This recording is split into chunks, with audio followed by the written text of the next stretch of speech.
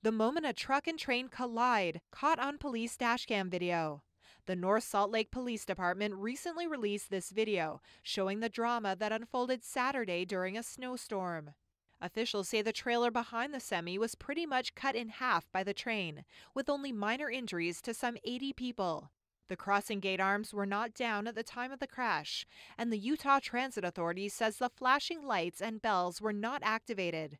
They say the gates were affected by weather conditions. The accident remains under investigation.